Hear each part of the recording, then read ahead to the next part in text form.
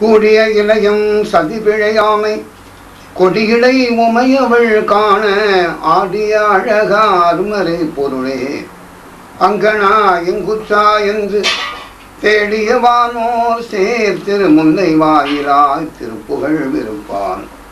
பாடிய அடியேன் படுதுயர் கடையாகி பாசுபதா பரஞ்சுடரே.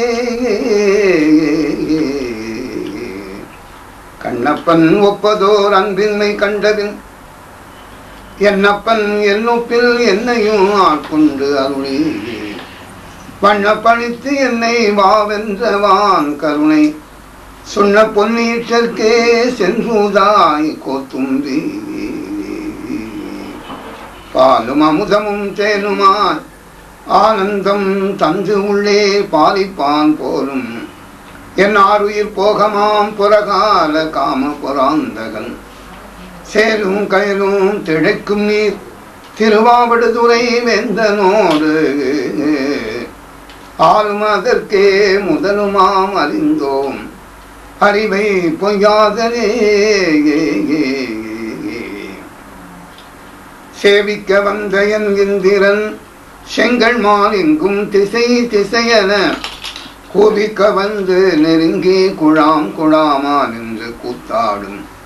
ஆவிக்கு அமுதையின் ஆர்வத்தனத்தினை அப்பனை ஒப்பமரர் பாவிக்கும் பாவகத்து அப்புறத்தானுக்கே பல்லாண்டு கூறுதுமே மதிவடர் சடைமுடி மன்றுடாரெனும் துதி செய்யும் நாயன்மார் தூய சொல் மலர் பொதிநடன் நுகர்தரு புனிதர் பேரவை விதிமுறை உலகினில் விளங்கி வெல்கவே ஊழியர் கோந்து பொழித்த புகழியர் கோன் கடல் போற்றி ஆடிமிசை கல்மிதப்பில் அணைந்த விரான் அடி போற்றி. வாழி திருநாவலூர் வன் தொண்டர் பதம் போற்றி ஊழிமதி திருவாத ஊரர் திருத்தாள் போற்றி தில்லைவாழ் முதலாக சீர்படைத்த தொன்னையதாம் திருத்தொண்ட தொகையடியால் பதம் போற்றி. கொல்லையவர் புராண கதை உலகறிய விரித்துரைத்த செல்வமலி குன்றத்தூர். சேக்கிடார் அடி சீல நிகழ் மூலாகம பொருள் ஒன்றொன்றாகி திறம்புறாது. ஞான நிகழ் குலதெய்வமென பலரும் கொண்டாட நாங்கள் உயர். சாதனைகள் சமவாத முதலிய போய் ஒழித்திட உதயமாய் வந்த. பால நிகழ் வெளிமறைத்த சிவஞான யோகி பதம் பணிந்து வாழ்வாம். திருச்சிற்றம்பலம் ஹரரம பார்வதி பதையே ஹர மகாதேவா சிச்சவே சிதம்பரம் ஸ்ரீ கார்த்திகேனாம் சங்கீர்த்தனம் சுப்பிரமணியோ ஸ்ரீ வர்ணிகாந்த ஸ்மரணம் சுப்பிரமணியோ ஹரரம பார்வதி பதையே ஹர மகாதேவா எல்லாம் அல்ல அன்னை ஸ்ரீ கொடியிடை நாயகி அம்பிகை சமேத எந்தை ஸ்ரீ மாசிலாமணீஸ்வர பெருமானுடைய பொன்னார் திருவடி மலர்களை அடியன் மனமொழி மேய்களாரை பணிந்து நமஸ்கரித்துக் கொண்டு இந்த புனிதமான திருக்கோயில் வளாகத்திலே குடியிருக்கின்ற புனிதர்களாகி உங்கள் அனைவரையும் வணங்கி மகிழ்கிறேன். இதையாலே நமது பெரியபுராண நச்சிந்தனை இந்த புனிதமான வேலையிலே தொடங்கி இருக்கிறது. கடந்த பல வாரங்களாக நமது திருத்துணர் புராணத்துடைய முன்பகுதிகளாக திகழ்கின்ற திருநாட்டு சிறப்பினையும் திருமலை சிறப்பினையும் திருக்கூட்ட சிறப்பினையும் நாம் தர்சாக்கண்டு புராணத்தையும் இதுவரை நாம் சிந்தித்தோம்.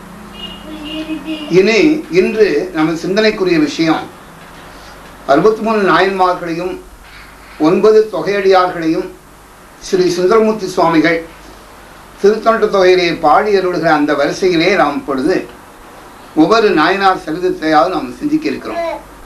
முதலாவதாக நாம் சிந்திக்க இருக்கின்ற ஒரு பெரிய பகுதி திளைவாழ் அந்தனர் சருக்கம். சருக்கம் என்பது பெரிய பகுதி. அவரே அவற்றிலே உள்ளே உள்ள முதல் தலைப்பு திருவாழ் அந்தணர் புராணம். இந்த திருவாழ் அந்தணர்கள் தொகையடிகால் தொகையடியார்கள் என்று அழைக்கப்படுவார்கள். மூவாயிரம் அந்தணர்கள் இங்கே இந்த திருக்கூட்டத்தில் இருக்கின்ற காரணத்தினால இவர்களெல்லாம் தொகையடியார்கள் என்று கூறப்படுவார்கள். இவ்வாறு ஒன்பது தொகையடியார்கள் பெரிய புராணத்திலே பேசப்படுகிறார்கள். அதிலே முதலிலே காணப்படுகின்ற தொகையடியார் திருக்கூட்டம் திருவாழ் அந்தணர்கள்.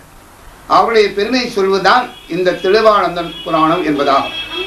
எனவே பின்னால் இன்னும் சில பகுதிகள் சென்ற பிறகு பொய்யடிமை இல்லா புலவர் என்று அடுத்த தொகையடியார் ஒருவர்.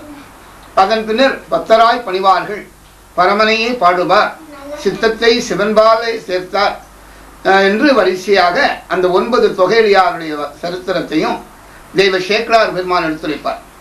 இங்கே முதலாவதாக நாம் தெளிவானந்தன் என்று சொல்லக்கூடிய நமது தொகையடியார் திருக்கூட்டத்திலே முதன்மையாக இடம்பெறுகின்ற அவருடைய பெருமையெல்லாம் இப்பொழுது நாம் காண இருக்கின்றோம். தெய்வ சேக்கரார் பெருமான் இவருடைய பெருமையை சொல்ல முற்படுகின்ற அந்த வகையிலே அவர்களை வணங்குகிறார். முதலாவதாக இந்த தில்லைவாழ் அந்தனர்களுடைய திருநாமமே தில்லைவாழ் அந்தணர்கள். சைவ மக்களுக்கெல்லாம் கோயில் என்று சொன்னால் அது தில்லை சிதம்பரமாகும். எனவே மலர்களிலே மலர் என்று சொன்னால் தாமரை பூவையும் சமயம் என்று சொன்னால் சைவ சமயத்தையும் கோயில்கள் என்று சொன்னால் திருக்கோயிலாகிய சிதம்பரத்தையுமே குறிக்கும் என்பது பெரியவர்களின் மரபு. அந்த வகையிலே தில்லை என்பது சிதம்பரம். அங்கே வாழ்கின்ற அந்தணர் பெருமக்கள் அவர்கள் தில்லை நடராஜ பெருமானுக்கு அகம்படி தொழுமை கொண்டு அப்பெருமானுக்கு நாள்தோறும் பூஜை செய்கிற பெரும்பாக்கியத்தை பெற்றவர்கள். அவர்கள்தான் முதலாவதாக நம் சிந்தனைக்குரிய தொகையடியார் திருக்கூட்டமாகும். எனவே தான் அந்த புராணத்தின் தலைப்பு திளைவாழ் அந்தணர் புராணம் என்று கூறப்படுகிறது. தெய்வ சேக்கரார் பெருமான். இந்த திளைவாழ்ந்தர்கள் பூஜிக்கின்ற நடராஜ பெருமானை முதல்ல இரண்டு பாடல்களில் அழகா பாடி மகிழ்கிறார். ஏனென்றால் அவர்கள் பூஜை செய்கிற அந்த ஆன்மார்த்த பூஜையாக இருக்கின்ற பூஜா மூர்த்தியாக இருக்கிற நடராஜமூர்த்தியை இரண்டு திருப்பாடல்களில் இந்த புராணத்தினுடைய தொடக்கத்திலே தெய்வ சேக்கரார் பெருமான் வழிபாடு செய்கிறார். அதில் முதல்ல உள்ள பாடல் அப்பெருமான் நிஷ்கள ரூபமாக இருக்கின்ற ஒரு அருமையும் இரண்டாவது பாடத்திலே பாடல்ல சகல ரூபத்திலே அப்பெருமான் காட்சி கொடுக்கின்ற பன்ம பான்மையினையும் மிக அற்புதமாக இந்த இரண்டு திருப்பாடல்களில் சேக்கரா பெருமான் பாடுவார். அதன் பின்னர் அந்தணர்களுடைய பெருமையெல்லாம் பேசப்படுகிறது. இப்பொழுது முதலாவதாக முதல் திருப்பாடல் நடராஜ பெருமான் திருவடிகளை தெய்வ சேக்கரார் பெருமான் வழிபாடு செய்கிற அந்த பாங்கினை இப்போது நாம் காணலாம். ஆதியாய் நடுவுமாகி அளவிலா அளவுமாகி சோதியாய் உணர்வுமாகி தோன்றிய பொருளுமாகி தேதியாய் ஏகமாகி பெண்ணுமாய் ஆணுமாகி போதியா நிற்கும் தில்லை பொது நடம் போற்றி போற்றி நம பார்வதி பதையே ரகர மகாதேவா. தில்லையிலே ஆடுகின்ற பெருமான் ஆதியாக இருக்கின்றான். அவன் நடுவாக இருக்கின்றான். அவன் அளவிலா அளவுமாக இருக்கிறான். அவன் ஜோதியாக இருக்கிறான்.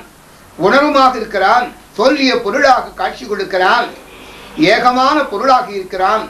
அவன் பெண்ணுமாக ஆணுமாக கொதியா நிற்கிறான்.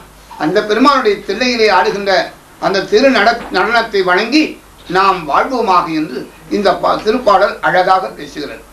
இரண்டாவது பாடல்ல அந்த பெருமானுடைய நடராஜமூர்த்தியினுடைய பெருமையை தெய்வ சேக்கரார் பெருமான் இன்னொரு கோணத்துல நமக்கு எடுத்து காட்டுகிறார் கற்பனை கடந்த சோதி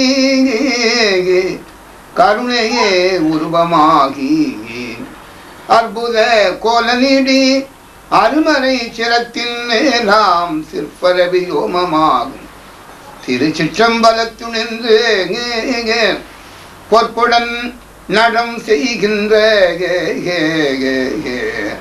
பூங்கழல் போற்றி போற்றி நம பார்வதி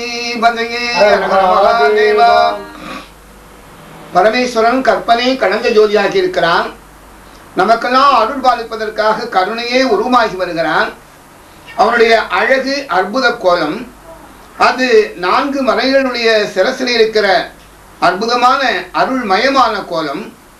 அது சித்திர வியோமம் என்று சொல்லக்கூடிய ஞான ஆகாசத்தில் இருக்கிற அருமையான திருமேனி அப்பிரபு திரு சிற்றம்பலம் ஆகிய ஞான ஆகாசத்திலே அழகு பெற நடனம் செய்கின்றான். அவருடைய பொற்பாத மலர்களை நாம் வணங்கி வாழ்வோமாக என்று தெய்வ சேக்கலார் பெருமான் உலகலாம் என்று அடியெடுத்து கொடுத்த அந்த உமையூர் பாகனை அற்புதமாக பாடி மகிழ்கின்ற பாடல் இந்த இரண்டாவது பாடலாகும். இந்த அருமை நாயகனுக்கு நாள்தோறும் பூஜை செய்கிற பாங்குடையவர்கள் உரிமையுடையவர்கள் தெளிவாள் மன்னர்கள் அவருடைய பெருமையை இப்பொழுது சேக்கரார் பெருமான் கூறுகின்ற பாங்கினை காணலாம். பொற்றி நீர் தில்லைவாழ் அந்தணர் திறம் புகழல் முற்றேன். நீச்சினால் நிறைந்த கோல நிறுத்தனுக்கு உரிய தொண்டாம் பெற்றினார். பெருமைக்கு எல்லையாயினார். பேணி வாழும் ஆற்றினார். பெருகும் அன்பால் அடித்தவம் புரிந்து வாழ்வார். கோல நிறுத்தனுக்கு உரிய தொண்டு செய்கிறார்கள். அந்த பெரும்பாக்கியத்தை பெற்றவர்கள் இந்த அந்தணர் பெருமக்கள். அவர்கள் அப்பெருமானை எவ்வாறு வழிபாடு செய்கிறார்கள்? பொங்கிய திருவினூடும் நீடும் பொற்புடை பணிகள் ஏந்தி மங்கள தொழில்கள் செய்து மலைகளால் துதித்து மற்றும் தங்களுக்கு ஏற்ற பண்பில் தகும்பணி தலை நின்று உயிர்த்தே அங்கணர் கோயில் உள்ளார் அகம்படி தொண்டு செய்வார். அந்த அற்புதமான பொன்னம்பலத்தில் ஆடுகின்ற பெருமாளுக்கு நாள்தோறும் மங்கள தொழில் செய்கிறார்கள். இன்றைக்கும் அங்கே நடைபெறுகின்ற அபிஷேகங்களை பார்த்தோமானால் மிக அற்புதமாக இருக்கும். காலையிலே காலசந்தி அளவிலே அந்த அற்புதமான மரகதலிங்கேஸ்வர பெருமானுக்கு திளைவாள் அந்தனர்கள் பூஜிக்கின்ற முறையும் அபிஷேகம் சென்ற அருமையும் கண்டு இன்று நாம் மகிழலாம். அதை அன்றே ஷேக்லார் பெருமான் பொற்புழை பணிகள் ஏந்தியெல்லாம். அவ்வளோ அப்படி பெருமையுடைய மங்கள தொழில்களை அவர்கள் செய்கிறார்கள். அது மட்டுமா? மறைகளால் துதிக்கிறார்கள். தெய்வ மறைகளாக வேதங்களாக பேசப்படுகின்ற நான்கு வேதங்களையும் இருபத்தெட்டு சிவாகமங்களையும் தமிழ் மறையாய்க்கிற தேவார திருவாசகங்களையும் அவர்கள் பாடி மகிழ்கின்றார்கள். இன்றைக்கும் எத்தனையோ திருமுறை தெரிந்த தீட்சிதர்கள் சிதம்பரத்திலே உண்டு. அவர்கள் அங்கணர் கோயிலுள்ளார் அகம்படி தொண்டு செய்வார். சிவபெருமானுக்கு அந்த கருவறையில் நின்று தொண்டு செய்யக்கூடிய பாக்கியத்தை அவர்கள் பெறுகிறார்கள். அது மட்டுமா? அவர்கள் இல்லங்களிலே நாள்தோறும் மூன்று வகைப்பட்ட அக்னியை வளர்த்து ஹோமங்களும் செய்கிறார்கள். அந்த ஆன்மார்த்த பூஜை அது அடுத்த பாடல் அழகா சொல்கிறது. வருமுறை எரி மூன்று ஓந்தி மன்னுயிர் மண்ணுயிர் அருளால் மல்க கருமமே பொருளா கொண்டு தத்துவ நெருங்கில் செல்லும் அருமறை நான்கினோடு ஆரங்கமும் பயின்று வல்ல திருநடம் புரிவார்க்கு ஆழாம் திருவினால். சிறந்த நீரார் சிறந்த சீரார். திருநடம் புரிவார்க்கு ஆழாம் திருவு. அவர்கள் செல்வம் வச்சிருக்கிறார்கள் என்ன செல்வம்? நடராஜ பெருமானுக்கு அடிமையாகிற ஒரு பெரிய செல்வத்தை அவர்கள் வச்சிருக்கிறார்கள் எனவே உண்மையான செல்வர்கள் அவர்கள் தான் இதை திருஞான சம்பந்த பெருமான் அருமையாக தன்னுடைய தேவாரத்தில் இந்த விஷயத்தை அழகா சொல்வார். செல்வ நெடுமாடும் சென்று சேனோங்கி செல்வம் அதிகோய செல்வம் உயர்கின்ற செல்வர் வாழ்வில்லை சிற்றம்பலம் உயர்த்தும் செல்வன் கடல் ஏ செல்வம்? செல்வமே கே கே. செல்வன் கடலேத்தும் செல்வம். செல்வமே கே கே கே கே. செல்வ நெடுமாடும் சென்று சேணோங்கி செல்வம் அதிதோய செல்வம் உயர்கின்ற செல்வர் வாழ்த்தில்லை சிற்றம்பலமே செல்வன் கடல் ஏற்றும் செல்வம் செல்வமே. செல்வன் கடல் ஏற்றும் செல்வம் செல்வமே என்று கூறிய திருஞான சம்பந்த பெருமானை தேவாரம் அப்படியே சேக்கரார் பெருமானால் இங்கே எடுத்தாடப்படுகிறது திருநடம் புரிவார்க்கு ஆழாம் திருவினால் சிறந்த சீரார். எனவே உலகிலே மேலான செல்வமுடையவர்கள் தெளிவான அந்தனர்கள் காரணம் அவர்கள் செல்வனாகிய சிவபெருமானை வழிபாடு செய்கிறார்கள். எனவே அவர்கள் மேலான செல்வமுனை அகசிய மகிழ்ச்சி சொல்வது போல ஆனேறு உயர்த்தலுடி அன்றினால் உரைத்த கொனே எனக்கு குலதெய்வமாம் பேச்சால் யானையே பெருஞ்செல்வன் யானையே பெருஞ்செல்வன் யானையே பெருஞ்செல்வன் எல்லா உலகிலுமே என்று காஞ்சி புராணத்திலே அகசிய மனுஷர் திருவாக்காக மாதவ சிவஞான சுவாமிகள் பாடுவார். அவ்வாறு எல்லா உலகிலும் செல்வர்கள் யாருன்னு கேட்டால் சிவபெருமானை மட்டுமே வழங்குகிறவர்கள் எல்லா தெய்வத்தையும் கும்பிடுறவர்கள் செல்வர்கள் இல்லை. அவர் வறுமையாளர்கள். வறுமை கொண்டு கீழே இருக்கிறவர்கள். ஆக உண்மையான கோடீஸ்வரர் யாருன்னு கேட்டால் சிவபெருமானை மட்டுமே வழிபடுகிறவர்கள். ஆகவே தான் திருநடம் புரிவார்க்கு ஆழாம் திருவினார் சிறந்த சீரார் என்று திருவாளந்து பெருமையெல்லாம் அழகாக சொல்கிறார்.